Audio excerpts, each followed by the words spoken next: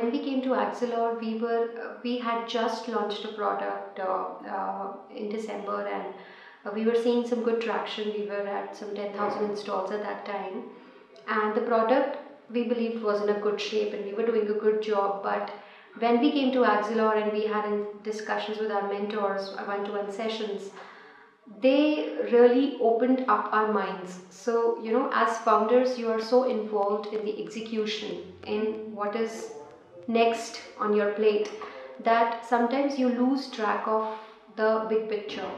And these people constantly pushed us, constantly questioned us, and helped us figure out. So, English learning or language learning for that matter is a big area, right?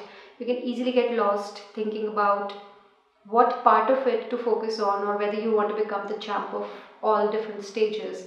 And after coming to Axilor, we realized that our expertise lied in the beginning, the, the beginner segment of the market. So, uh, people at Axilor, all, all our mentors, whoever we met here, whoever we had sessions with, helped us realize that you cannot go after everyone at once. You have to focus all your energy, all your attention to one particular segment and that helped us a lot in uh, you know being more clear with our teaching uh, we, we became more focused on the target segment which helped us in turn make the product more uh, useful for that segment.